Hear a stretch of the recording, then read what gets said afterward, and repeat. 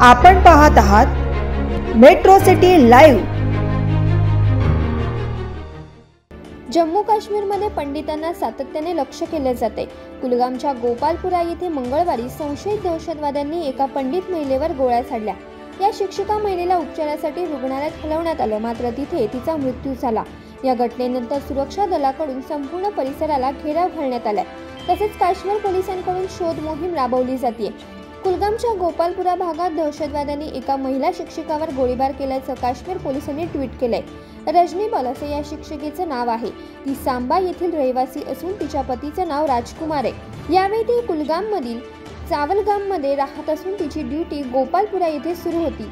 या प्राणघातक गुन्ह्यात सहभागी असलेल्या सर्व दहशतवाद्यांचा लवकरच शोध घेऊन त्यांचा खात्मा केला जाईल असे पोलिसांनी सांगितलंय.